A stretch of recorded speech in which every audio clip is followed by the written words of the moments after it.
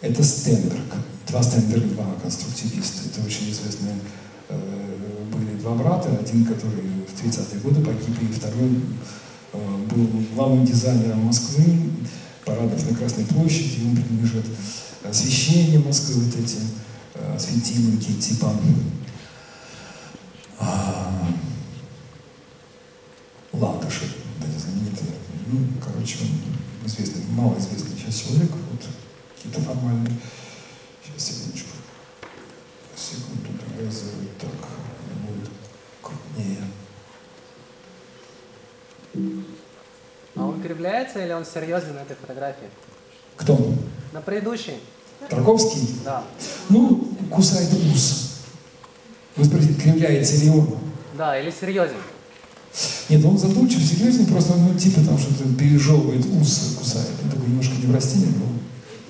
Ему он сам выбрал эту фотографию, в конце концов, ему фотография понравилась. А вам не нравится фотография? Да. Мне кажется, она репрезентативная такая.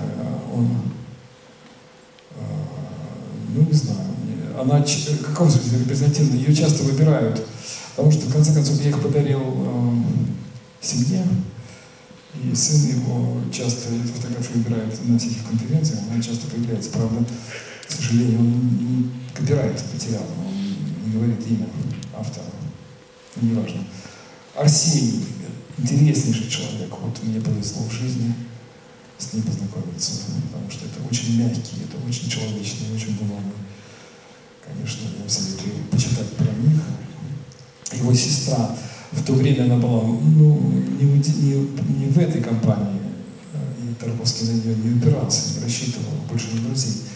Но после смерти она все-таки образованная женщина и дочка умнейших родителей, а оба и их родители, и Арсений, и Мария, они были студентами литературного института, и у них был друг, который фотографировал, его звали Лев Корунг, я советую вам найти этого человека.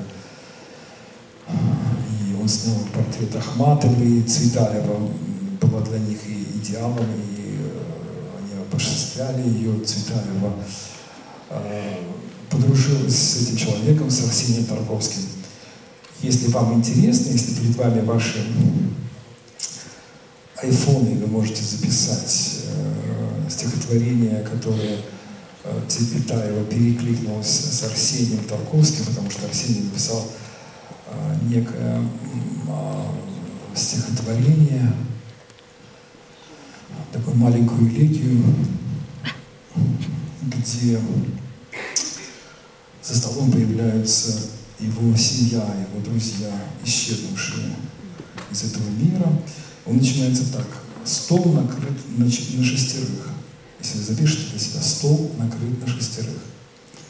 Горе до печали, а среди моих нет. Вот это их устали, среди друзей моих горе до печали. Вот здесь стихотворение очень интересное. Потому что там последняя стро- строка выцвела коса. Он говорит о том, что это люди не живущие, выцвела коса, потому что из-под земли он собрал этих людей из-под земли. И тогда я вспоминаю, что в фильме «Соляриса» эти люди появляются из-под земли. Кто видит фильм «Соляриса», тот вспомнит, э, что там на этой а, станции в Солярисе вдруг эта станция материализует у простых, обыкновенных, бездуховных людей, э, камуков, уродов, а у нашего героя э, его жену, которая исчезла. Вот мне кажется, все-таки поэзия отца влияла на фильм Тарковского и эти- этим образом. Я просто немножко мне грустно, что я говорю это для маленькой группы людей, которые знают Тарковского, потому что большинство, может быть, это слушает, понимает, но заинтересуется этим. Может быть, вы пришли больше смотреть мои фотографии, но тем не менее закончу мысль и начну перелистывать. И, значит, а, это стихотворение «Стол накрыт на шестерых», его литературный идеал, совершенно гениальная поэтесса Марина Цветаева, которую Бродский считал лучший поэт 20 века, она переписала, и это было последнее стихотворение перед ее смертью, когда она жизнь покончила самоубийством. А, она написала стихотворение, которое называется «Я стол накрыл на шестерых». Если у него стол накрыл на шестерых, я стол накрыл на шестерых. И э, видно, что она напрашивается в гости, она просится быть седьмой, потому что ей э, дико все вокруг, и она хочется, хочет быть непозванной, чужой, но в этом мире, его мире. Вот.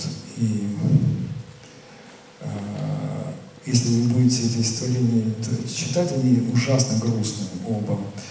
Но ее еще грустнее, потому что, в конце концов, это было и предсмертное стихотворение.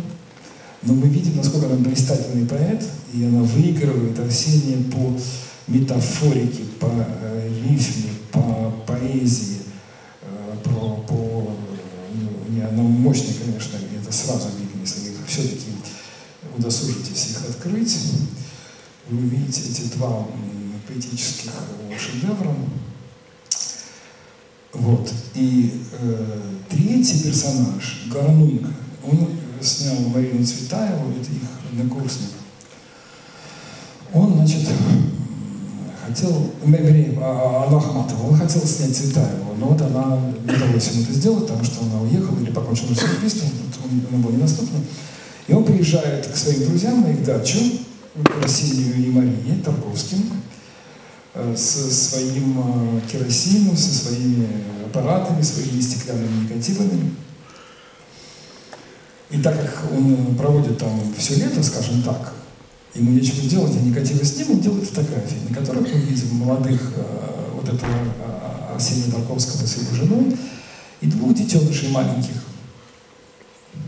Марину и Андрея, будущего режиссера. Видим этих маленьких детишек. И я эти фотографии никогда в жизни не видел, э, сейчас это все доступно, но они попали в мои руки. Э, потому что когда я знакомился с Андреем Тарковским, он мне дал кирпич. И в этом кирпиче были склеены фотографии, негативы стеклянные. Я их расклеил. Он ничего не сказал, ни слова. То есть догадался, что я должен их как-то отреставрировать. Я видел, что они были слышали. Я их отреставрировал, ну как отреставрировал, высушил и сделал по контакты. Я их сделал контакты и все отдал, не пожалел бумагу, не сделал для себя экземпляра. Ну не страшно, сегодня это все доступно. И я вдруг удивительным образом увидел опять фильм «Зеркало» Тарковского. Боже, это все кадры из фильма. Ну как это кадры из фильма, когда фильм современный, а эти фотографии довоенные. Но потом я понял и подтвердил это, что благодаря их другу Гарнунгу, имея фотографии себе маленьким в виде своего детства, и такого отца, как Арсений с его стихотворением «Зеркало», он продолжил эту традицию и вот так восстановил этот фильм, фильм именно о своем детстве, о себе. И как бы он рефлексировал эпоху, показывая этот фильм. Вот. Ну, вам интересно это?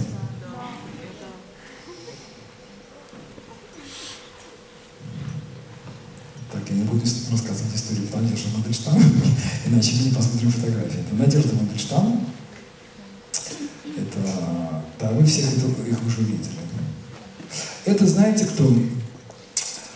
Это я попал на Мосфильм и работал у Андрея Смирнова, фильм «Вера и правда», и в это время фильм «Солярис» шел. И он меня посылал на фильм «Солярис», но к нему приехал друг Александр Кушнер.